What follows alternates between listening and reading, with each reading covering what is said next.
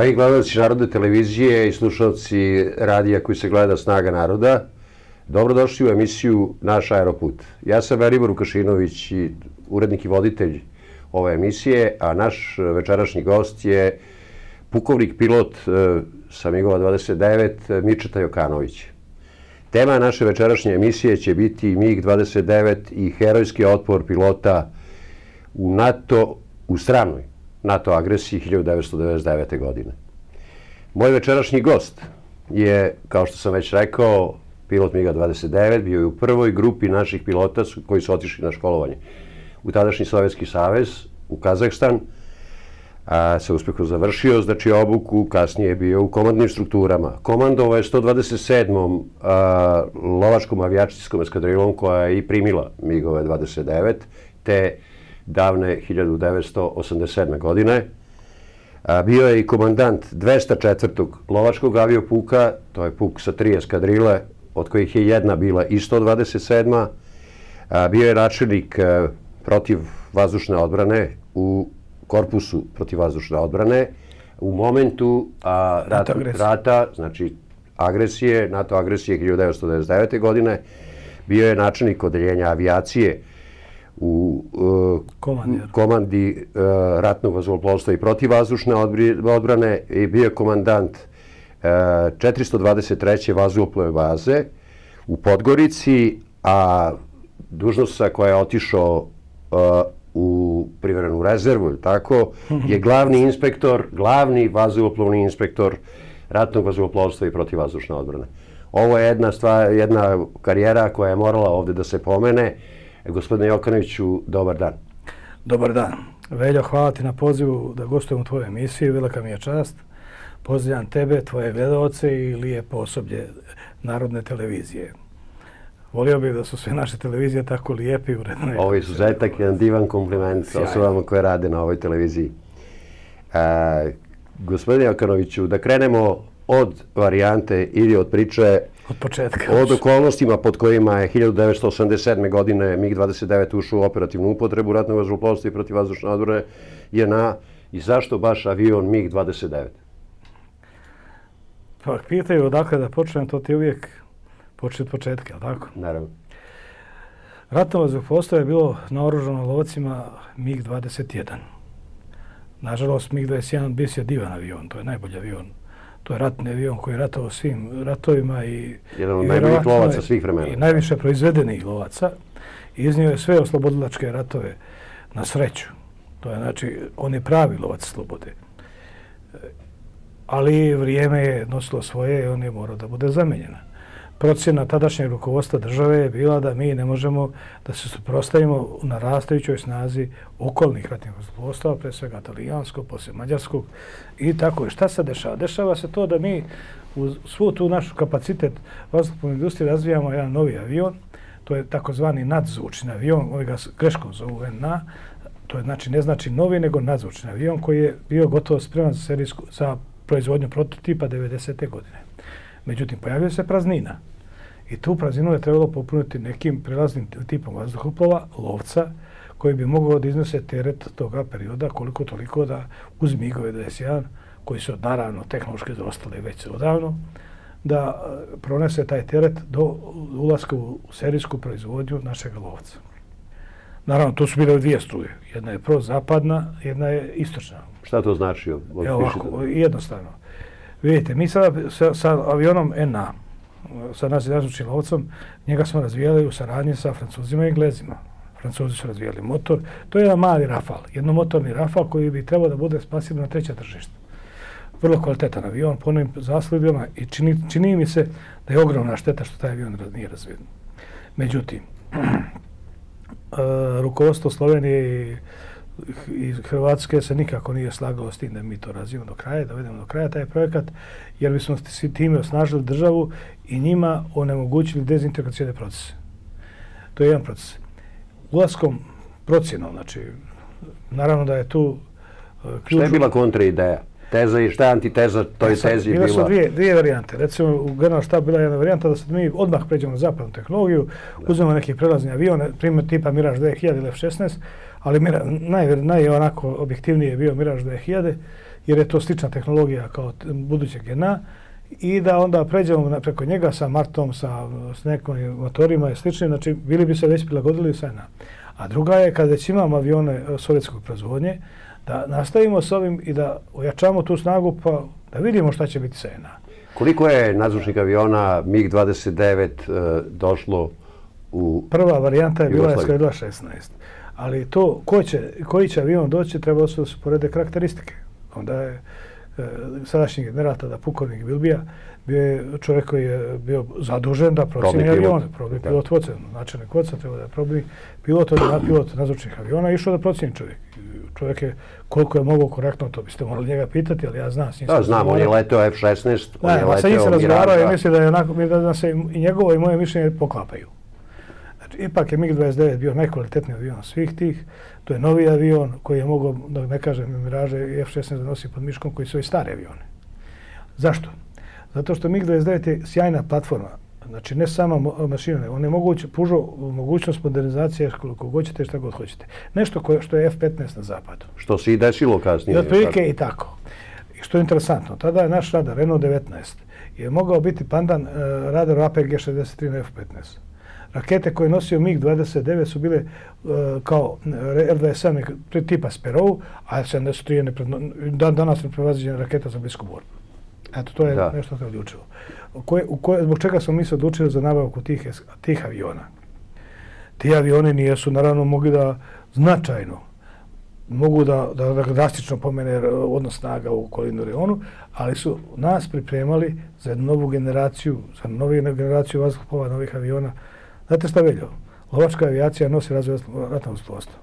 Piloti lovačke avijacije su birani kao astronauti. Znate kako je, kakav je bio izbor za nas? Pa to je bilo smijurija. Nije smijurija, nego birali su nas onako, gledali su igli na uši. Naravno, naravno, tu, je, ovaj, tu su i, i opterećenja, i barokomore, i centrifuge, i, i sve ostalo. I na kraju kreva to su i letovi na ivicu stratosfera. Ma da, nije, najveći je problem tih modernih lovaca to što je avion u kratkom vremenu dostiza opterećenja 9G. Smiješno sam steta što nema tu grafiku da pokaže. Devet sobstvenih opterećenja da bismo gledalcima objasnili o čemu se radi. 9G opterećenja, reću vam poslije zašto.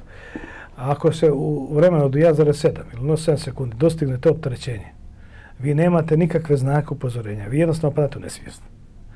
Ako imate ko starih lovaca koji su to sporije postizali, tu imate znak onda siva zona, pa sužavanje, turenski vid, takozvani, sužavanje vida, imali ste nešto da su upozori. Ovako, tap i gotovo.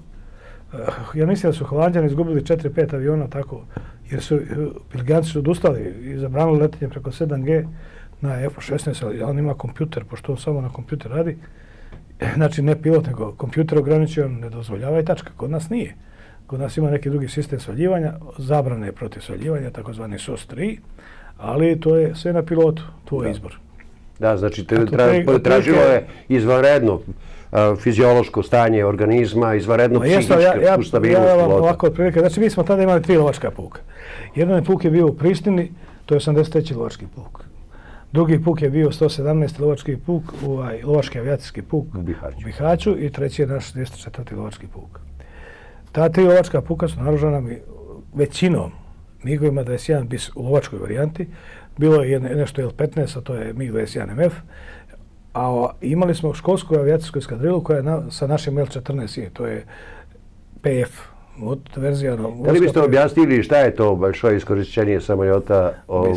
To bi trebalo da bude To je MiG bis. Da. To je posljednji to MiG koji je došao pre MiG-29. Dobro, ajde, napravit ćemo digresiju. Da. Ovako, znači, MiG-21 je uh, avion koji je dostigao vrhunac, proizvodio se mnogo godina, mnogo, mnogo ratova na sebe izvuko i to je jedna čvrsta, sjajna mašina, pravi ratni avion. Jednostavno, dopuniš gorivo i čeraš ga kod motociklu. Potvrđeno u ratu i mašinom sveta na kraju. Gospodo, težak je za letenje, vjerujte mi. Da. Ima je neka ruska izračica, kaže, migalje tati, tigra, a no i tože. to je da, avion da, ali onoga momenta kada, popularan pod imenom kada, let lampa. kada, kada vam uđe u ruku, s njim možete svašta. Da. Jer je sjajan avion. Ali je težak do zla Boga, mislim, znaš. Naravno, on je bio prethodna, do, izvanredna prethodna priprema za vrhunske da, pilote za MiG-29. Da, da, to ću vam posle reći kako su nas birali. Ali je to MiG-21 bis. Je tada predviđena jedna varijanta da se pravi nešto po ugledu F-16 izmjenom krila i ovo, po to je poslije L-15 našeg MF. Međutim, šta se dešava? Dešava se da bi to morala čitava industrija, odnosno proizvodnja MiG-ova se preorijentiše na tu varijantu. Bio bi naravno mnogo bolji avion, ali e, je ne isplatio. I onda su oni u taj avion ugradili nešto bolji radar, to je Safir 23, sa MIGA, tadašnjeg MIGA 22. To je impulsni radar koji ima samo u gornjem posferu 30 km dometa. I šta su još uradili? Uradili su, ugradili su nakazvani na motoru Tumanske RD25, ugradili su taki čezvičajni režim, CR. On se u kritičnim momentima može da ide u traje jednog minuta, troši da te Bog sam sačuva, ali te može čupati iz belaja. Da. Znači, definitivno 10% povećava snagu motora. Eto, to je to. Da, da to, je, ovaj, to je priča o, namjerno i pravim, vredno je pomenuti. A, u toj grupi, vi ćete nam nešto reći o tom školovanju u Kazahstanu, ali u toj grupi vredno je pomenuti jednog čovjeka koji je meni bio vrlo drag, nije više među nama, je bio ovaj oficir Nedočin. Koji je, A, Miloš. Je, da, Miloš Nedočin koji je u stvari bio rukovodilac Pa dobro... Uh, Tehnike, je tako? I to su bili jako bitni. Mi moramo priznati jednu činjenicu, da je to bila ozbiljna država, ozbiljna priča, ozbiljna zemlja. Birali su najbolji svoj kadar, na, na, ja sam nekako upao to, nemojte misliti da sam to ja zbog, zbog sebe rekao, ali eto, možda ću vam reći kako sam. Ali ovaj, birali su svoj najbolji kadar i imali su viziju, znači razvoja i ovog. Dijelimično je bilo, znači prvo je bila eskadrila. Kompletan komandni kadar eskadrila je otišao tamo buduće eskadrile. Ja sam bio pomoćnik za grba. Znači, svi komandir odlenja, zamjenik, komandir, zamjenik. Vi ste bili pomoćnik za gađenje, raktiranje i bombardanje. Tako je. A moj kolega Babi, on je bio pomoćnik za edukaciju i predstavanje. I vjerovatno sa pukovnikom Hođićem, sa tadašnjim majorom Hođićem, najviše teret uvođenja od oružanje toga aviona sam ponio nastrojice. Ne, ne, stidim se to da kažem. Koliko je komandant eskadrila bilo iza toga? Nedočina. Da, da. Mi smo onda, Nedočine trebalo da bude za bazu, a Milosavljević u puku, da se za mene zarotiraju, jer treba držati avione i treba znati šta treba za taj avion, razumiješ što je pravo. I bilo je dosta ljudi iz Orla uh, i iz Maja. Znači, da oni na početak, na vrijeme da se pripreme, jer smo mi mislili da će naša država naravno potrebati, da taj avion ostaje tu narednih 30-40 godina, da će se morati remontovati, da, da polako pripremamo kada. To je vrlo ozbiljna priča. I naravno, oni su imali, imali smo sreće zato što je to bila velika zemlja, imali smo velik, dobar izbor kadra, imali smo dakle da biramo. E, to je to. A, kako je biran letački kadar za e, avion MiG-27? U to vrijeme 127. lovačka eskadrila je bila najbolja eskadrila ratnog lovač, lovačke avijacije. Ne, ne, to ne kažem. Ne Već ste selektorni bili na neki način? Ma nekako je to išlo... Spontano? Spontano. 126, a 127, stalno sam mi preganjali, to među eskadrijski, ne možeš to reći ko je ovaj. Ne? Rekao je 127, isto avijacijskog puka, je tako? Isto, ma mi smo se preganjali, to je normalno. da, da, da, to je bolje. Ali, ba, da, ba, jasno. Ali, znate šta, 127. eskadrila je bila, došla dosta vrhunac, pogotovo u vazdušno-marinskoj vazdušnoj borbi. I onda e, mi smo trpili stalno 7-7,5 G koliko je MiG-21 podnosio i naravno da se to videlo i na, na lakše smo podnijeli tih 7 G. Jedan od kriterijuma da bi mogao da uđeš u kabinu MiG-29 to je da u centrifugi zadržiš 20 sekundi svjesno stanje na, bez antigeodijela na 7 G. S tim u vezi, u Batenici, u Vazulnom medicinskom institutu, Imali smo instalira na centrifuga gdje se to simulira. Moram reći opet digresija, ali ajde nek bude za gledalce. E, znači, nama su Amerikanci rekli, bago vama, vi možete. Mi ne možemo da naš kada imaju su više pilota, a malo, malo mašina. Ne možemo mi da selektujemo na vaš način. Znači, selektovanje pilota lovačke avijacije bio je kriterijom grozan. E, zamislite dječaka koji ulazi u gimnaziju i sad treba da bude tamo komandant nekoga puka. Šta mora sad taj dječak da prođe? Da. Evo ja. pa da, da, ali bilo je tu da. ne do duše prevelikog. Ta selekcija i klasifikacija je na vreme dobro izvršena i relativno mnogo pilota je prošlo u, u nastavku u e, vazduhom Jeste, ali znate zašto je to? To je zato što je tada bio važio vazduhoplovni kriterijum. E, istina da je bilo znanje donja granica ispod koje se ne može ali psihofiziološka motorika pilota, pilota sad, izvinjam se, to, kandidata za pilota, je morala biti procjena. u mojoj grupi, u Zemonu, tu gdje je komanda stara, to je dva stara Remija, ti se sjećaš preko da, da, komande, i od 73 čovjeka nas je sedam prošlo. Od tih sedam nas je četvorica pozavršili kao piloti.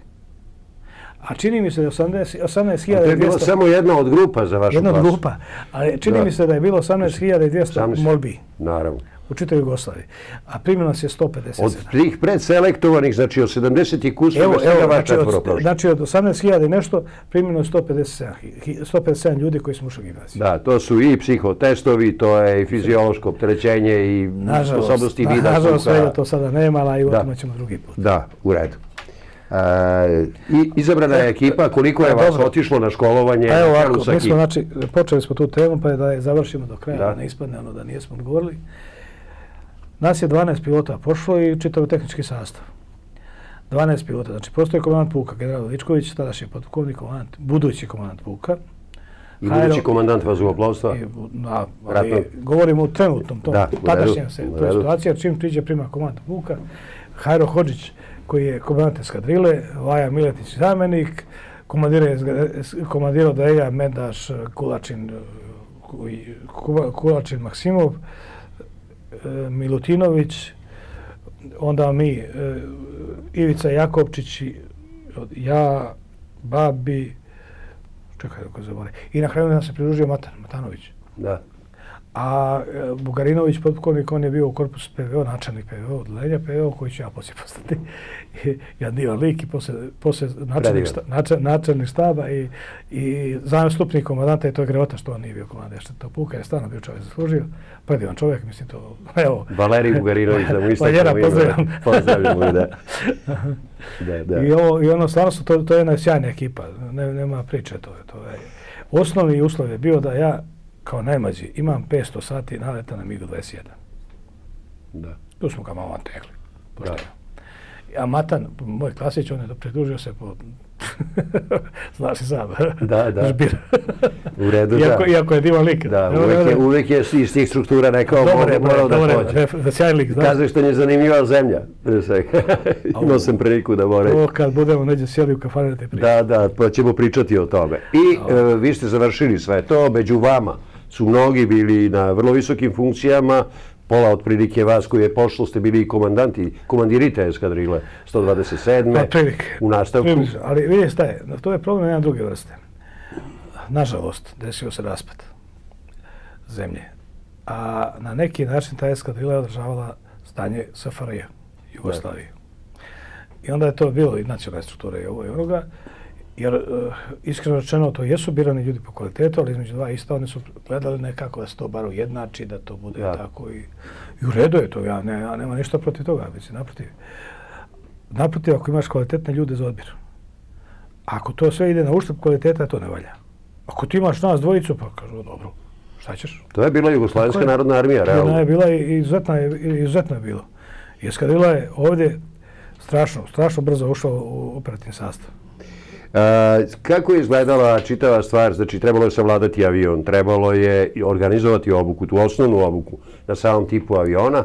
Iza toga dolazi borbena obuka i ovladavanje elementima borbene obuke na tim avionima. Da li je bilo i pomoći sa strane e, sovjetskih instruktora u svemu tome? Jeste li vi čitav, šta ste, koji deo ste vi završili tamo, šta se dešavalo ovde u Batajnici? Znate šta, Veljo? Znači, priprema je pola posla prije nego što sam pošao, svako od nas je znao svoju buduću funkciju i bio je zadužen da što više nauči, nauči o tome šta treba ovdje da prenese budućim e, pilotima koji da, za obuku i da jednostavno što više znanja pokupiju. Znali smo mi da nema mnogo vremena. Da. Evo, reću vam, mi smo 87. znači 24. 24. septembra 87. su došla prva dva NL-a. MiG-29 tu bez letila na Batajnicu.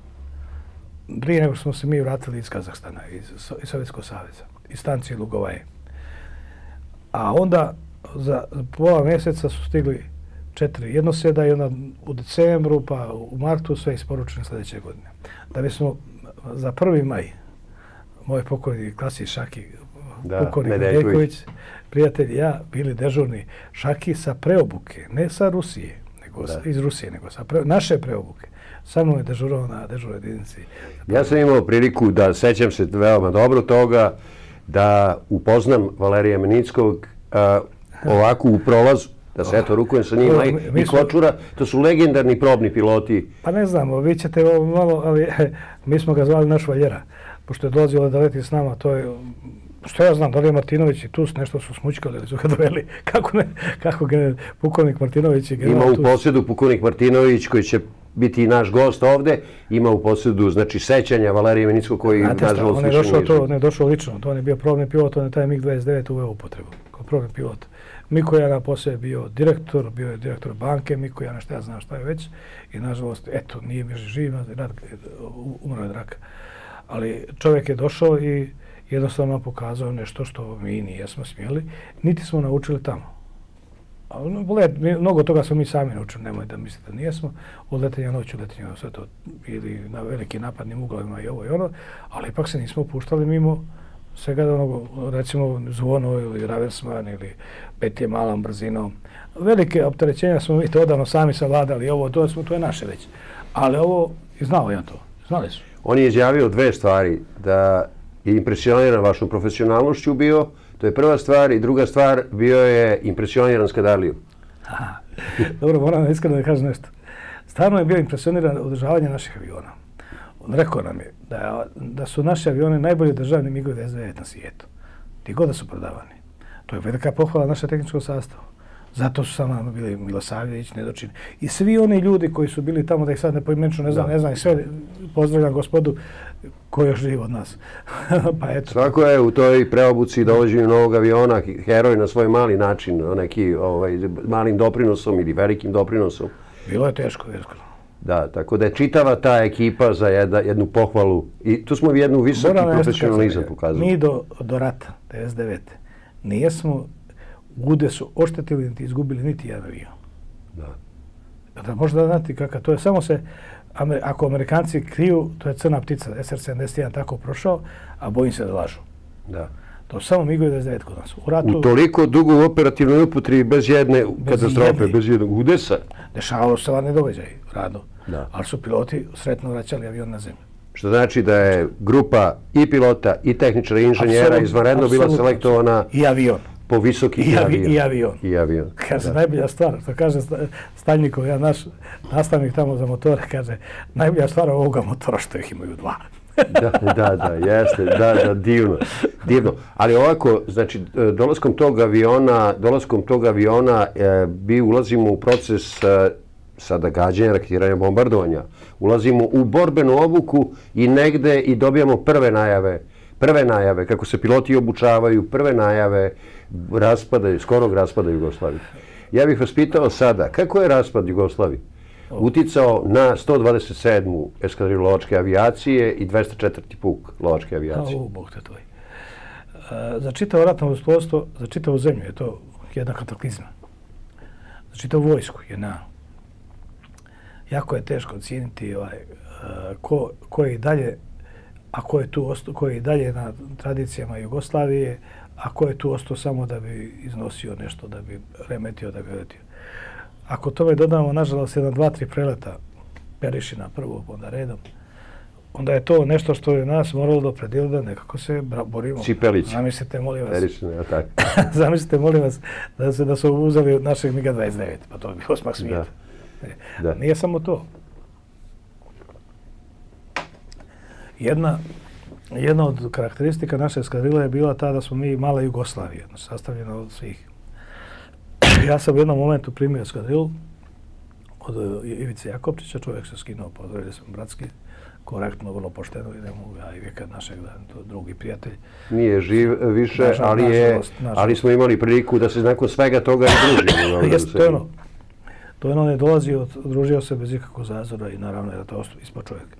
Vidio si Jurišća jedno sve tukaj. Da. A oni koji su otišli sami o sebe, to oni nikad više nisu došli u eskadrilu. To... Da. Nećemo imena pominjati, svak nek svoj nas. Da, imali zima tu par onako tragičnih slučaja. Ali u svakom slučaju, jednog momenta sam ostao sa 7 pilota. Da. Nisu svi otišli, nego je nekima bilo zabranjeno letenje, iskreno rečeno, da. bez razložno, razložno što ja znam. Nas, niže komande strukture, nisu baš mnogo uvažavali, jer su mislili da mi ne znamo, da su oni pametni Oni to odsijeku i oni su sigurni. A nisu pitali kako smo. Eto, to je to bilo strašno. Da. I onda su krenula, onda je krenula čitava priča oko ratnih dejstava, znači Dobro, mi smo, mi smo lovačka avijacija. Lovačka avijacija, da, lovačka avijacija koja je i, i bila tu negde. Mi nemamo mnogo tih. Sa namenom i u svrsi. I, Naravno ovaj, imamo, to, to nije zapričao, ali imamo dosta toga što se moralo raditi, radilo se. A, desila se jedna stvar koja je, to vi ćete reći i potvrditi autentičnost te priče, da su avioni koji su došli 87. godine trebali da budu a, remontovani. remontovani, znači motori 96. godine. Vi ćete pitati Martinovića, cijenog prijatelja i kolegu. 91. je trebala stigne eskadrila još jedna eskadrila Migova 29. I trebalo da proleti za Bihaj. Znači, ova eskadrila ako naša, trebala da je eskadrila sa komandirom eskadrila ja. Da. I dali su mi dva pilota i divira, ja sve ćemo ti proučiti još 15 i radi što hoćeš. Kaže, ti si to već naučio. Da li je to baš tako? Nije, ali eto, to je dešalo se. I onda je Marković, jedna je eskadrila Migova 29, jedna je eskadrila Migova Mi-24, helikoptera borbenih. I onda je Marković otišao, to se puj pik ne važi, zbrčko tamo u Moskvi. Verovatno, znajući šta, šta nas čeka, mi izgleda smo bili naivni, pa nijesmo znali. Mene je drago što je da, me, da nije rado da te kupi haću, se razumijem. Ja ne znam, bez obzira na sve, 24 dlačke puke je stacioniran tu. I mi kao piloti smo najmanje problema osjetili da to nijesmo primještali porodice i ovo, ono, ono nije to žurba, ono, bilo su to neprijatne, ne, kako neprijatne, ružne situacije skroz. Ali dobro, To je, da, to je što vaša sudbina je bila da prihvatite eskadrilu i da idete u Bihać. Da se mi razumio, 127. je namijenjena bila da ne ide tu da izgori i. To je da, da, dakle, sve priče o nekoj komoci i nekom spavanju pilota u svili kada nisu tačne, jer je jednostavno svako od... Naravno, postoji nešto voljno, nešto nevoljno, ali to je bila jedna ozbiljna moć. Baš bi volio nekoga toga da kuđe moje čizme. da, da, da, da, jeste, da, tu postoji porodica. Samo jedan dan. Pokret otpora porodični i tako dalje. Ovaj, u toj najavi. E, znači, krenuli smo malo da pričamo i o toj obnovi kadra u 127. lovačkoj avijacijskoj eskadrili nakon tih sedam pilota, je tako? E, Ko je ne. počeo da ulazi i kakav je bio sistem e, školovanja? E, je sve jedno, mi smo imali dovoljno, još opet dovoljno mladih obučenih pilota koji su imali relativno dobar nalet i koji su brzo ulazili jer je to bila velika čast letne MiG-29. Onda pravo da vam kaže, ja sam imao sreće pa su me podržavali komand puka pokojnjimika. I onda postao Bane Petrović kao komand korpusa Vaka i komand Mika Stevanović komand TRV. I krenuli smo sa manevarskom vazdušnom borbom. Iako smo imali otpora u stručnim krugovima i, ja. i unutar eskadrile. Izlomili smo to, nije. To je krenulo i to je bilo, doveli smo eskadrilu. Ja kad sam otišao iz eskadrile imao sam 17 pilota, imao sam 4, 4 5 nastavnika letenja, jer ja, ja sam bio šesti, sposobni sve, sa svega godina dana. Kao uvod u nastavak priče, sećam se 11. juna 1998. godine. Dana kada je na Batiničkom aerodromu održan veliki aeromiting. Sad sam bio učesnik. Veliki aeromiting, tada je 127. eskadrila lovačke avijacije bila popunjena i na aeromitingu je leteo tadašnji komandant eh, ratnog vazgoplovstva general pukovnik Ljuboša Valičković. Sećam se također vrlo dobro kada je po naredbi Južnog krila NATO pakta francuski miraž tog dana kad je trebao da se desi aeromiting, mi ulazimo na batajnicu, rano ujutru, on u jednom brišućem letu nas pozdravlja, dobija naređenje da se vrati u svoju bazu. Trebao je da bude učesnik u ovaj samom aeromitingu. Sad ne znam, ja sam... Ja se sećam toga. Ja sam 97. predao puk. I ovaj, ja sam bio učesnik Aero mitinga 97. To je prvi miting, to sam letio na suhu. Da, govorimo o 98. i uvodu. A 98. ne znam, ne znam, vjerujte. Ne da, znam, da, ja znam, sam bio. Ali se sjećam da su uh, Amerikanci zabranili Grcima F2 F-16 par je došao da lete na Aero mitingu i one su ljudi pobizdili. Da. U prevodu. Da. Naroda, izvini. Ne, to je to. Na izrazu. A ja kažem, oni su preletali, napravili oštar zaokre, sletali, bili u statičkoj izložbi, otišli. Da. A letio taj Miraž, Miraž je letio kolebo se bio sjajan, on je bio pilot koji je fantastički. Ovako, tu se već osjeća u vazduhu, znači tu se već negde u vazduhu te 98. godine, kasnije dolazi do oktobarskih tih uh, razgovora Holbruka, Richarda Holbruka i Slobodana Miloševića i u vazduhu visi neka priča, uh, vi ste bili a, profesionalni vojnik na vrlo visokoj funkciji o tome da bismo mi mogli da budemo bombardovani? Ovako, ja sam tada bio na vježbi, jednoj grčkoj vježbi, Grci su nas pozvali, postojala ta neka njihova koncepcija kopneno-vazdušne bitke, to je onaj da. američka stol i sada ja, gdje sam završio školu nacionalne odbrane i postao sam načelnik odlenja PVO u korpusu PVO. I general Veličković me šalje i kaže, idi vidi, to te čeka. Moram da kažem da su ga bili strašno predosetivi. Te što sam tražio, sve su otkrili. Mislim, otkrili, pokazali. Nije su ni oni mogli, ne mogu, šta ćeš. Prvo, nemaju, nemaju to naoružanje koje NATO pakt ima. Oni imaju to što imaju za sebe i nisu smjeli da pokažu baš sve, ali su nam pokazali HOK, pokazali su nam da njihovo, kako oni planiraju, kako ovo, da, da bar vidimo neku globalnu sliku, je, to je to. Znači, pretpostavljaju... U principu su mi znali to, velja. Ali dobro, ajde vidimo kako to, da, uživo, da. kako to uživo funkcioniše. Dobro, otišli smo tamo, vratio sam se i naravno referat je tamo bio u komadi, rekao sam to je to. Nama je veliki problem bio što mi nismo imali mogućnost se borimo protiv dvije stvari. Nisko letećih objekata, tipa kastadeće rakete, male besplatne letlice, nazvučnih brzina i e, balističke rakete. Nismo imali obranu. Evo, možemo se Šta nam je nedostajalo u naoružanju? E, e, ovako, vi ste kao pilot lovačke avijacije, komandant eskadrile, komandant avijacijskog puka, načelnik e, ovaj u ovaj korpusu protivvazdušne odbrane načelnik uh, protivvazdušne odbrane uh, bili imali sliku o kompletnom sistemu odbrane zemlje. To bi bio, znači to... koji obuhvata ratno vazduhoplovstvo i protivvazdušnu odbranu. Da li bismo mogli da se zadržimo upravo ste sada rekli da nismo mogli da se niskoletećih ovaj, raketa, odnosno krstarećih raketa Nemoj, rešavamo? Nisam efikasno. to rekao. Mi nismo imali efikasnu odbranu, znači zašto? prvo, nijesmo imali sisteme da. za brzo reagovanje. Znači, mi sisteme nijesmo tipa TOR ili neke rakete koje su automatsko reagovanje. Hoćete ponoviti naziv vrlo precizno? Tipa TOR. Tipa TOR. Ili neki pandan na zapadu, da. ne znam više koji su, Mistral neki, onda znam. I, a, mi smo imali prenosne sisteme stare, Strela 2M, oni su mogli da fiksu, ali samo udati. Strela 2M smo imali. Ali mi noć nismo imali. Kako? E, na, naša naj, prvo, žila kucavica svakog sistema PVO je veza. Da. Veza nam je bilo uništena. Sa razbijanjem relnih čvorišta mi smo istili vezu.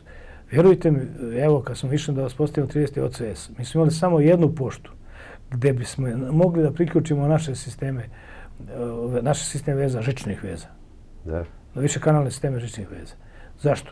Jer je pošta već otišla odavno naprijed. A mi kaskamo za našom poštom. Umjesto mi Kako da učemo... objašnjavate to da kača kaskamo? Jednostavno što Milošević nije htio odložiti dinara u vojsku. Tačka. Šta to mi se priča, brate?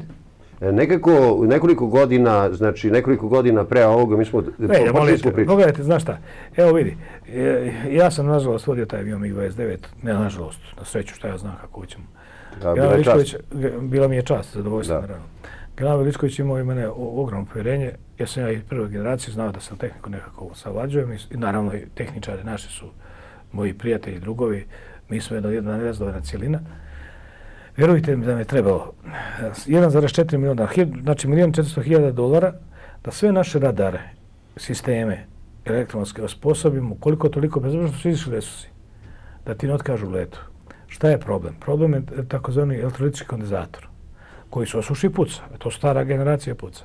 Znači u dvije torbe, a ja u diplomatskom poštom u Jatu, avionom Jata da, iz Moskve, da. stiže kod nas. Ne nam 100.000 po 100.000 jer je Kozirije bio težak, nije baš protiv, nije baš bolio Srbe. 100.000 dolara po avionu. Naši bi kroz redovne remonte osposobili radare, kursne sisteme, odnosno inercijalne navigacijone sisteme, računare, sve bi to bilo zamijenjeno kroz redovno održavanje i mi bi se ispali iz avione. Veljo, da. šta me ovo vrijedilo? U redu, nema para, ne da, ne da. Valjda on bio pametan pa hoće da misli da on to sve može da uradi sam ne, ne optužujem Miloševića, nemojte se razumijeti, nego, mislim, glupo je taj odnos bio. On je tek posle 99. okrenuo vojci, to je bilo kasno, malo kako se ovo dođe. Verujte mi, ja dolazim uh, da probam Suhoja 30 MKI. Kada je to bilo? 2000. Kad su se naši zanose da kupe te neke Suhoje. Posljedno, na Da, baš, nakon svega, pošto I sretemo Miloševićevog brata koji je bio tada ambasador u, u Rusiji. Boru Milošević. Boru koji je fin jedan čovjek, ozbiljno mislim. Da. Nije on kriv čovjek, stavio me to te spriča. I onaj, kažem, znate vi da se pohvali, ja sam ono početkom međa oktobra, šta li god, e, 88. ja sam za nedjelju dana za 7,5 miliona dolara nabavio Mi-24, novi Mi-24 Ukrajini za MUP. Prvo, za ISO. Prvo, taj e, helikopter su, evo ti Đošića, brate, e, ili mog mo, mo, mo, mo, komšije, Simketa, oni, oni letu naši piloti. 7,5 miliona za neđelju dana za jedan helikopter Mi-24 izdvojen u cugu, a nije bilo za 14 aviona 1,4 miliona. Za osposobljavanje radara. Jedino oružje koje je vojska imala ozbiljno oružje za odbranu. Nove generacije, bio MiG-29. Da. I to su nam uskratili. O čemu da pričamo? Da, s jedne strane imamo, ovaj, to je i tema ove emisije, imamo primere herojstva, imamo primere, moramo otvoreno da kažemo, e, neshvatanja od strane državnog vrha a, izazova i situacije u kojoj smo se našli. Kako tumačite? Možda nije ni vaše da tumačite. Vi ste bili vojnik na borbenom položaju, na vrlo visokom komestu i dužnosti. Bili ste svesni svih grešaka koje su počinjene u tom smislu. Znali ste sve o moralu ovaj, armije koja je bila na visokom nivou, a, o srcu junaka i tako dalje, ali ste bili svesni onoga šta nije učinjeno. Znači, evo, baš ste lepim primjerom ilustrovali dobili smo helikoptere Mi-24, a nismo dobili naj, e, ovaj, znači- radare e, ovaj, za najsavremeniji avion kog smo imali. I kako se to, kako se to, to su piloti naravno znali. A, dolazimo do situacije, znači negde se već naslučuje, imamo naše ljude po tom oktobarskom sporazumu u Vićenci. Šta je to zapravo bilo? Šta su naši ljudi u Vićenci? Au, to je veljo jedna priča koja je teška priča za nas. Bez obzira da li je teška, šta to znači? Ja mislim da je naš rat, taj rat, naš nazvam rat, rat protiv nas, 99. bio savršeno pripremljen, špijunski varijantama ovim oni. On je trebao da se desi u oktobru. 98. 98. Međutim, desilo se to, pošto ratni plan ratnog uspostava su znali samo tri čovjeka general Veličković, mislim da je Joža Štarki, još jedan od ovih iz borbene gotovosti, to je to. Svi su ostali u kovertama dobijali zadatke. Odjednom je ratno uspostvo nestalo sa njihovih mapa. Imali su najavu da će biti agresija. Ono toga momenta oni su zustavili. Rekli su šta je sad? Oni su nas provali. I posle toga dolazi do nekih pregovora da se razmijene vojni posmatrači na nivou države. I naravno i protiv volje generala Veličkovića. E, ja ne znam čiji je to masno, vjerojatno generala Perišća i generala Krahovca. Da se vratim, izvijem se, kako su nestali naši avioni?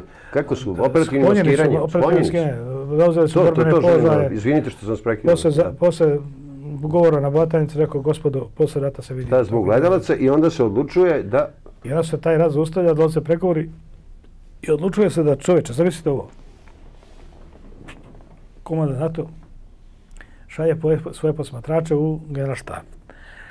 Sad, naravno, uh, jednim nekom kombinatorikom, pošto generalštab neće voditi rat, nego će roditi komanda ratnog posta, normalno, vjerovatno utjecajem Perešića i generala Vlahovca, oni na silu guravaju posmatrača komanda ratnog posta. Šta to znači? Znači da general Ličković nije htio prihvati.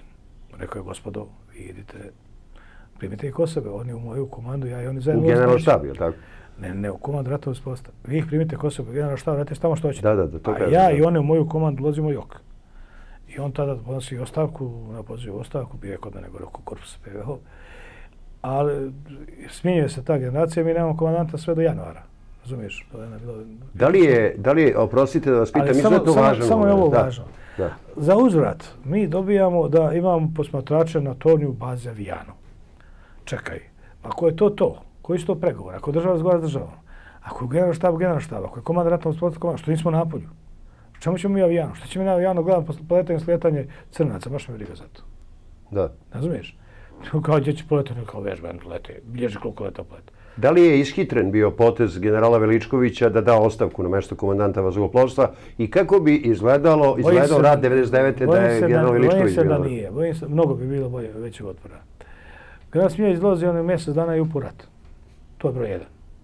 Pokušao se nađe, ali ne može to da se nađe. Ni to. Znači, general Smiljanić je došao sa velikim zakašnjenjem na tu dužnost. Ma mjesec dana predati čovječe. Da. U januaru, u februaru već, samo što nije krenulo ratovno, Rambuje, ovo ono, čovjek je, bez obzira na sve svoje kvalitete ili nešto, ali nije, nije se mogu snaći do toga.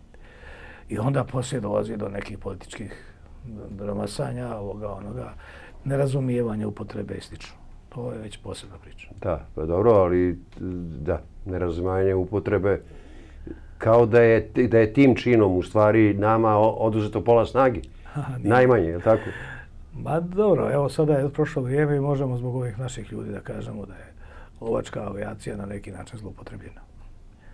Nije, nije primjena nijedan taktički postupak. Onaj, evo pravilo lovačke avijacije, tačka 83.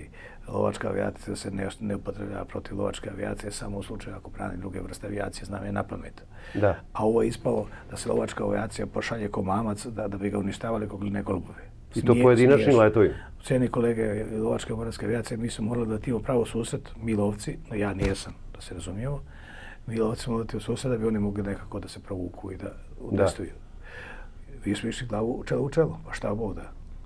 Nažalost. Prva je Ilja Rizanova. Čitam, čitam o tim forma, ta prvu noć. Ta prva noć je bila, ajde ta prva noć, pa djavo ga ne snašao se. 24. Gasilo se jedan po drugi. Mart uveč, 99. Prije svega nisu znali ljudi šta traže. E, to je prva greška. Nije, nije dato nama da koji smo vični tom poslu, nije nam dato da, da s ljudima razgovaramo, da, da napravimo sistem koji će funkcionisati, da im kažemo kako tako privazdošna. Džaba smo mi pričali. Da. Ovi su tražili kroz stareća rakete, one 10.000 metara lete i bombarduju ljudi. Aman. Jedna od tih prilika. Ali vi ste načelnik uh, PVO protivazdušne odbrane u korpusu protivazdušne odbrane ove da, Da, funkcija je važna. Važna je funkcija. I bio sam na izvoru i događaja. Nažalost, nije se uvažavala. U tom jeste problem. Da. Stručni savjet i stručno mišljenje mlađih, odnosno ljudi koji znaju šta je, šta je lovačka avijacija nove generacije. Da li vaša funkcija je bila operativna, izvršna i tako dalje? Neko je ovaj, e, onemogućavalo komunikaciju? U, u ratu je ona svedena na, na nivo izvršetka, izvršioca. Da. To nije dobro razrađena to, procedura. Naravno da nije. na, nije dobro razrađena procedura. Vi znate šta je u svakom ratu je bitno sa dejstvom. A, i, sa dejstvo je bolna tačka. Mi, znači, gubimo š, tokom 99. godine u vazduhu šest aviona. MiG-29, e, prvi je oboren 24. Ilja Rizanov. Na teritorijom on je krenuo u susret jednoj grupi. Iznad Čaglavice, da. Da, iznad Čaglavice, jednoj grupi aviona. Ali treba imati u vidu oborenje. Dva dana je uh, bežao kroz linije OVK, a, došao u vrlo lako obučen, što je kasnije imalo tragičnih posljedica po njegovo zdravlje. E, I tu je u stvari pokazano da on je viđen kad je poleteo. On je snimljen iz Avaksa. Tri Avaksa su u tom momentu letela. Nije prvo noć je njih nekoliko porena, nije samo on. Da, ne, on je prvi. Samo kažem da je on prvi. Da, on je Keša, Nikolić, on je Nebojša Nikolić, on je kod uh, Novog Sada, tamo je moj klasić Aleksić, Aleksa Milovanović, ga spasio pod vatrom, pravo da kažem, s helikopterima. Da. Grof je pao tamo ispod Goča, oboren ispod Goča, a Iljo je u Čaglovici u gnijezdu OVK. I pitan se kako bi neko uspio da preživi da to nije naš Ilčo. Da. To je bila mala zver, bre. to je da. to ekipa. On je, on je ne, ne znam se ti njega sjećaš. Kako se ne sjeća, bili, smo, bili smo na Makšu 2011. godine zajedno, dva mjesec dana iz toga umro. Ljudi na zver, Njemu su urađeni odmah nakon rata, bypassovi, ili tokom rata. Tako, Ali, zbog toga su došlo sužavanje. On kad je došao posle, pošto posle iskakanja je obavezno pilot ide na VLK. Ovi kad su vidjeli srce šta je dešao, dođe vam, šta je ovo? On to ništa ne osjeća, valjda adrenalin još uvijek radi. I on, četiri bypassa su mu gradili. Ali to je posljedica zime koju je, kroz koju on prošao. Svašta je to. 48 stresa, sati, strah. Eh, stres, ali Meni je pričao kada je direktno, čelom u čelo, ovako nalužane pripadnike ove Šest sati je ležao u snijegu. Oni su bili zapanjeni da im on ide u susret uopšte, kao vanzemaljac, ili tako? Pa, I uspeo da dođe. Vuka, vuca, vuca, kacigu. uspeo je da dođe do Goleša, uspeo da dođe do naše jedinice. Na sreću, ja sad Tuzani, Suzani nisam smio da se javim Zvali su me, naravno, gdje ja sam čuto, ko kučka ne smijem da prija javim, šta da joj kažem, čoveče, ne znam ni ja ništa. Da. I kad je on došao, kad je došao ovaj, dolje na, kad se javio u Prištinu, ja zovem Vesnu i kaže, ajde, reci Suzani, da, je, da. je živ, zdrav, da će doći u Beograd. Zapravo je te noći uh, Bata, naš prijatelj Bata Kulačin, major tadašnji ratnog vazovoplovstva, čovjek koji je sa vama bio i na preobuci e, za Migove 29. Ceni kolega, ja. Da, da, kolega, da, Cimer, je li tako? Nije, ba, babi mi je Cimer. A babi Cimer, je li tako? Da, da, Željko. Ovaj, a u svakom slučaju ste... I, i, i Mića Janjušević, doktor. On je, je jedan redak lik, ovako, Bata Kulačin, jedan redak lik. On je te noći poletao i jedini zapravo nije oboren. On i Gaja, mali Ilić. A Ilić, Gaja. Mali, čuvene. Gaja Ilić. A Ilić je pogođen u čelo, raznešen mu je radar, prednje staklo je uništeno. Je on lansirao nešto te noći? Pa nije, nije. mogao. On, je, nije. On kad je... Prvo, Ilju je trebalo možda sekundu ili dve, da je tri, da, da uđe u zahvat i da lansira, jer kada je vidio avione, tragove aviona gore, umeđu onoga su sastavila jedna raketa, druga raketa i to je to. I on je sastavio? Možda, ali vladila je velika dezorganizacija sistema. Uništeni su radari. Uništeni su sistemi veze. su čvor, čvor, uništa čvorništa. Poletiš tišina, nikoga ne čuje. Šetaš kanal na kanal. Možeš misliti kako je to. Ti uključiš radara, tražeš po zemlji, onda vidiš gore avioni. Da, tu, to, da. Totalna dezorientacija. I oni su ljudi učinili su, u redu je. Prva noć je u redu. Diglo se šta se mogu, kako je prošao majčno. Nije to problem. Te noći je inače, upotrebljeno sa strane. Lovačka, I ne, inače naša lovačka medijacija je ta prva koja će primiti, pa izginula, izginula. Prvi prvi udar. Ali dalja upotreba lovačke avijacije nije tako na planu. Da, te, te, noći je, te noći je nas napalo 350 operativno borbenih aviona, ukupno 440 aviona je napalo teritoriju Savezne Republike Jugoslavije. To su i oni pomoćni avioni. Da, da, da, znam, ali u prvom naletu je bilo preko 170. Da, jeste, ali ukupno, govorim ukupnom broju 24. I što je najgore, 25. Oni su imali sve, nastavno, definitivno su nas pratili po lijetanja, sada po tim forumima čujem, kaže, MiG-29 se nije pokazao u ratu. Ja smijem, naravno. Ja ne znam ko to u ratu, ljudi koji su ovaj, gledaju samo brojke. Nijedan, nijedan sistem tipa, znači avion sam za okružen sistem, jedan mali, izdvojeni elementi sistema ne može se boriti protiv moćnog sistema kao što imaju. Naravno. Oni imaju svako kompletno, imaju kompletno obezbeđenu informaciju, informatiku. To znači radar, AVAX sve da vodi. Drugo, Eh, oni imaju nepogrešivu vezu avion komando mjesto. Njihovi su radari i rakete ispravni. Imaju raketu dva puta većeg dometa nego što je raketa MiG-29, to je Amram. A naša, njima je bilo zabranjeno da prije nego što unište ili, lansi, ili ošteti raketa naš avion, da priđu blizu 40 km ili bliže 40 km, koji je neki srednji domet naše rakete, 27 R iako je to pasivno vođena raketa, mi razumijemo, Amram je samo, samo, samo navođena, radarski samo navođena raketa. Nikada nisam čuo cifru, znači broj, odnosno sate naleta pojed, o, u proseku pilota koji su nas te noći napali u prethodnoj 98. godini. oni da završe... To ispod 200 sati, 250 nije. Oni da bi završili svoju akademiju. Imovina obrazovanja ima dvije varijante školovanja. Školovanje civilista i školovanje u Vazdušnu akademiji. uglavnom Vazdušna akademija, govorimo o SAD-u, oni su, oni su petogodišnje školovanje i to je komandni kadar. A za ostale funkcije oni primaju civilista. Ljudi završeni koleđima, fakultetima, kako već. I oni to primaju školu dvije godine i polako preblačaju, ali to je ubrzano školovanje. Svaka godina je po 200-250 sati na let. Znači, nijedan koji je poletio protiv nas nema ispod 1000 sati. Ne, a govorim o 98. godini. Koliko su u 98. Znači, u treniranost pilota, o tome govorim. Naših? E, prvo njihovih. Da li znate otprilike koliko u jednoj godini pilot NATO, NATO, NATO pakta NATO, NATO prosjek je donja granica, NATO, donja granica je 150 sati godišnje. Donja. Što znači da je prosjek 200? Do 200, najmanje. A koliko su naši piloti imali ovaj, nalete u prethodnoj godini, u 98. na MIG-u 29? Pa 30-ak. 30-ak sati prema 200 sati. Samo moram te to je stvar ulaganja. Ne, ne, pa naravno. Da, tada je njima bilo skupo da je gorivo, da skupe, mislim, skupo kome? Jednoj države to je najmanja stavka čovječe. Ali to neki tamo koji zamišlja, mali u Đokica kako se vodi rat, tako to zamišlja, može to. Da, ali... Napiši broj koji to je to, nije to. Kako bismo paralelu mogli da, ovaj, mi smo, ja ne znam da li postoji bombardovaniji grad na svetu u istoriji? Boga, mi smo na putu mislim da smo negde svetski vrh, ali da li biste mogli da uporedite e, bombardovanje, odnosno veliku armadu Luftwaffe koja je 6. aprila 1941. napala Jugoslaviju i poletanje naših, ovaj, obiliće naših heroja sa poletanjem naših pilota sa MIG-ova 29. Me za mene tu je da paralela bi mogla da se izvuče. Zaista je. Da li je, da li je, izvinite, da vas pitam još jednu stvar, da li je narodno samo, herojska samo, samo je jedna, eskadrila 127? Samo je jedna, naravno da jeste herojska. Samo, ne, da li je dobila orden narodnog heroja? Ma de, to je. Znači nije dobila? Zato što ljudi koji su odlučivali o tome su bili bijesni što nismo svi poginuli vre.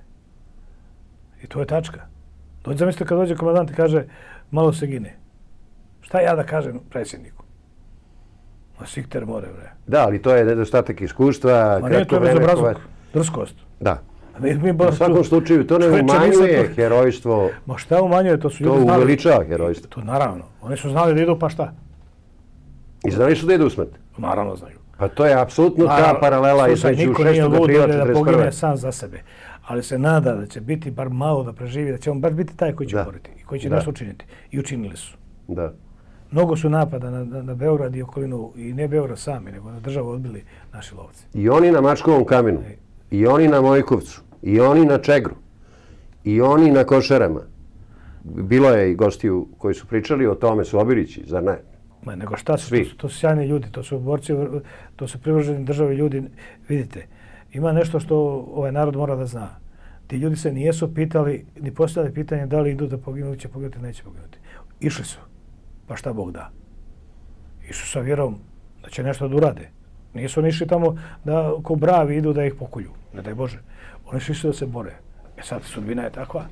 Da, njihovi, njihovi definitivno, možemo kažemo da njihovi koraci odzvajaju, odzvanjaju večnosti. Za mene kao zvukovca definitivno. Evo, evo sada, evo malo ću da odstupim od ove priče, pošto ste pomenuli 41. Udruženje ratnih vojnih violida će ići sada, ovaj, u četvrtak smo dovoljili sa upravom za tradiciju postoje dva naša pilota lovca koja su s avionima pali u Dunav. I mi ćemo pokušati da iz organizacija nas država podrži, da izvadimo te ljude sa mešaštima na 109. Ne mogu sad, zaboravio sam ja pravo da kažem, ali znači ta dva čovjeka da izvadimo dva, dva aviona, da izvadimo i da ih vratimo tamo gdje im je mjesto, da im kosti sahranimo nasljednicima, porodicama kojih imaju, ako ne uspočava svojničku kako treba i da avione stavimo gdje je mjesto. Predivno. Znači, zasluženo, predivno. Volio bi da ima, na sreću, mi smo sve naše našli. Da. Ovo je 99. Ali, znam da to porodicama nije utjeha, ali utjeha je to što su bili junaci, heroji, to je tačka. Nama je nekoliko dana posle početka rata u Pari aviona MiG-29 pogino Majer Zoran Radosavljević. Da, jeste. Vođa odeljenja je Da, je bio pare, Slobodan Perić. Voža para je bio, da. Slobodan Perić, I obojica su oboreni. I nažalost je on pokojni. Da, u saobraćenju nesreći nakon rata, naš divni drugi. A, vi ste mu na kraju kreva i govor držali na sahrani.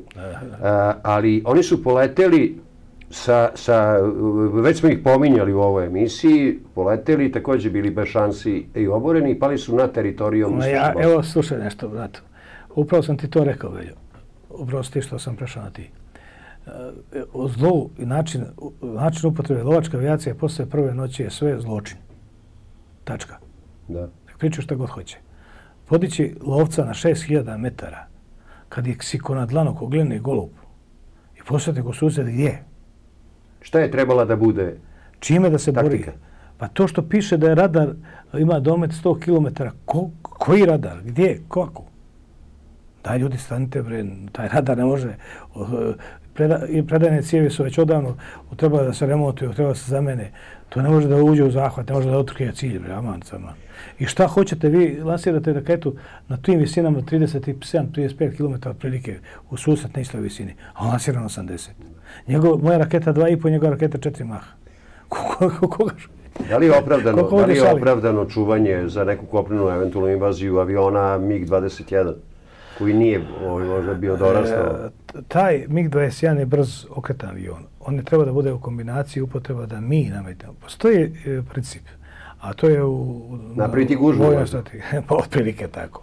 Da. Mi nikako nijesmo mogli da ostvarimo ni taktičku, ni operativnu nadmoć. Ovaj, e, strategijsku i operativnu nadmoć, pardon. Ali smo mogli taktičku nadmoć. A to znači da mi njih isprovociramo da oni reaguju i onda da mi njih zaskočimo. Vjeruj mi da smo samo jedan put primili neku planiranu vazdušnu borbu, plan, treba nam je samo jedan radar, nikad se to ne desilo. Da. Zašto? Pitajte našeg glavokomandića koji se hvale sa svojim uspjesima. Da. Da, to je, to je ovaj, neka varijanta, nažalost. Bili su planovi, svi, znate šta, mi smo, nažalost, tu je skrenuo sam ja u lično. I sa njima sam radio. Nastavili su drugi komandanti, nastavili su puk, mi smo imali grupu borovog Da. puka čovječa. I šta je bilo, nijedan od tih, nije, nijedan nije puk bio naš u vazduhu, nego dva u vazduhu, ko, ko, ko patrola u mirnodopsko vrijeme. Da, mnogo, mnogo, zna, mnogo značajne iskustva su a, i sistema PVO. Znači, jedno, jedan specifični način obaranja, recimo, F-117. To nije bila slučajna varijanta. Mm, Molim vas, to je jedno, to je jedno vrlo taktički pametno potez. E, F-117 on stealth e, se sa radarom P-12 otkriva na 28 km. U diplomskom sam to radio, znam sigurno što je. I ovo je bilo školski primjer uništavanja zlikovca. Da. Školski primjer. Na 28 km otkrivena, na 15 km lasena raketa i uništena sa dvije rakete. Pjas.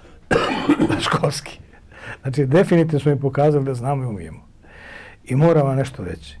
Naša sreća je što smo imali taj niži komandnik, nije niži, nego taktički komandni kadar. Komandanti pukova brigada su bili vrhunski, sve dole borci su vrhunski. Junaci, junak do junaka. Verujte mi da sam cijel naš sistem obilazio noćima probudio s njima. Da, vi ste prokrastarili uzduž i Cijel- popreko sav sistem, sa ste njima. načelnik PVO. Niko bre sad nije plašio kao šta oni, oni su čovjek, ljudi taktički, htjeli da postupe taktički. Samo su ih ovi od ozgo remetili, tražite stanice, uključite, uključite, ma bože ljudi, a to je protiv svih pravila. Ti Mi smo zvanično oborili F-117 a, i zvanično smo oborili F-16. a, b- Pilot u avionu je bio sadašnji komandant ratnog vazduhoplovstva Sjedinjenih američkih država. On je oboren na CERO.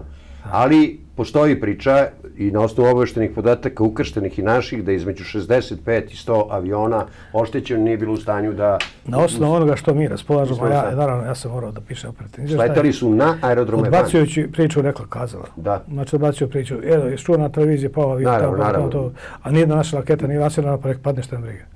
Mnogo njih su izgubili preko 100 aviona. Ali od naših destava negdje preko 60 je otišlo. Da. To je onako... A ovo ostalo je u sudarima, u padanju. Da, ali kako objasniti, mi smo relativno plitku teritoriju imali, oni su sletali van naše teritorije, važ naše teritorije, znamo. Svakakve priče postoje. Da. Ali e, kad nemaš komad metala, to je... Da. ovo- Naravno, naravno, naravno, Nažalost, imalo je i toga da nijesu svi sarađivali da, u tom procesu. da. Pa čak i od države. Ima čak priča da je u jednom momentu je na avionu koji stoji u muzeju F-117 piše Kent Vili Duh. Jer tako, svaki pilot ima i svoje ime. Međutim, postoji jedna legenda o tome, pojavljuje se Dale Zelko, kasnije u nekim dokumentarnim A filmovima. nije to taj čovjek, bre. da, da je Ken Willy poginuo tu, da ga je činok E, izvuko mrtvog, a da je kasnije postavljeno da je Zelko, slovenac poreklom, a, bio u tom avionu. A, Dejan Zelko bi to je- izgledalo- Dejan Zelko je obolen i on je pao.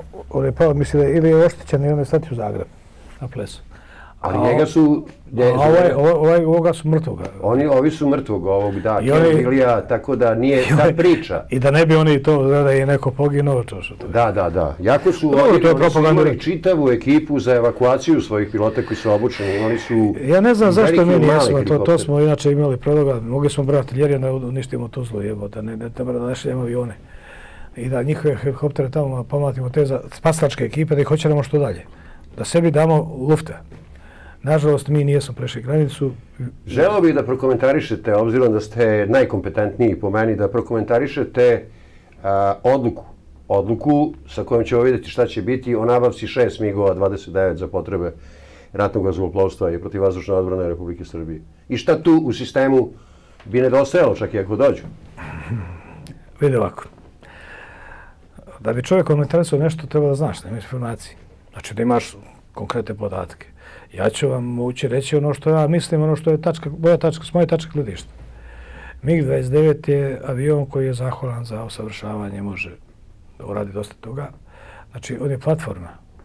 A šta to znači? To znači ako mu zamijete e, napad navigacijski sistem i oružje, dobili ste potpuno novi avion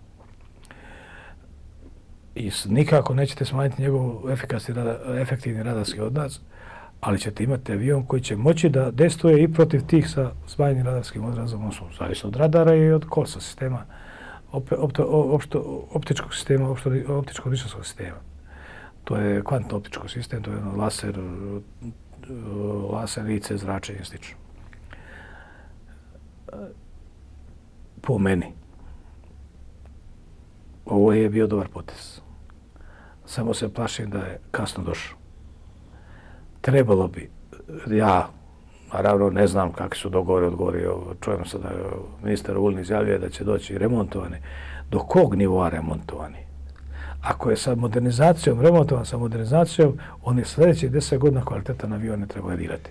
I to je trebalo odmah uraditi na licu. A šta je sa sistemima PVO u kombinaciji? Jer avioni, sami avioni bez sistema PVO nisu nešto posebno. Ja, vi ste pilot. Znate da. sami da ratno vozilo postoji jedan složen sistem. Ratno vozilo postoji protiv odmana, postoje kao jedna tri osnovna dijela, tri osnovna sistema. To je avijacija, rakete, jedinice PVO i vojn. Sve te, sve te, sistem, sve te sisteme uvezuje jedan drugi podsistem, a to je veza. Da. Svi ti sistemi, znači tu dolazi drugo elektronsko metanje, prekrivanje maski na to, to, je, to je nešto posebno, ali ta tri sistema su nerazdvojna. I oni trebaju da se onako po našoj staroj strategiji oružane borbe razvijaju ravnomjerno. U protivno, bilo koji sistema je nemoćan sam. Oni su, moraju da budu komplementarni. Moraju, moraju da biti uvezani, oni su spojeni. Naravno. Ti, evo sad, ono kad smo, pomenuo sam te 2000, kad smo išli probamo taj Su-30 MKI u Rusiji, to je vazdušni bojni brod, aviončina tuče 10 raketa, bije tamo na 500 km, tko znam kako. Ali šta ti to znači kad sleti ako nema ko da ga brani? Pa on jednostavno govor Đurija, ne baš šta s njim, gdje ćeš? Da. Gdje šta će da ga sakriš? Ovako, mislim da bismo na kraju, mi imat ćemo mi e, potrebe da pričamo još jednoj emisiji, gospodine Jokanoviću, E, mislim da bi bilo vredno na kraju reći da je 204. E, puk, lovački puk, izgubio ratnog komandanta u, Eh, na borbenom zadatku, Milenka Pavlović. Eto, govorimo o Viliću našem Milenka Pavlovića, to je, to je bila tragična pogibija, je tako? Nad praktično rodnom kućom, u blizini Valje. Znate šta, sujeta je zlo brat Pavle je poletio, a nije smio da poleti, nije trebao da poleti, ne bar tako, ali on je to da ih dokaže idiotima da se on ne boji smrti i eto, nažalost ono ga je stigao. To je hrabar i junački komandantski potez. Komandantski je potez, da. Bilo, ko, bilo ko od nas Koga je poznavao, zna da je to komandantski i herojski Vjerovatno bi tako postupio. Svi oni javamo komandante koje znam, bar većina, ne znam, neki ne bi, neki, neki bi izbrisali, naravno. Ali Mena da. nije se važan. da. Ali, brat Pavle, da li bismo na kraju mogli da kažemo, na kraju ove emisije? Brat Pavle, ne samo on. Svi ti moci su heroji. Da. Svi su oni znali s čim se suočavaju i kud idu, da, da se ne lažemo. Znali su oni šta, s čim nas polažu po suncovu. Znali su s čim nas polažu protiv koga idu. I sve jedno niko nije rekao neću.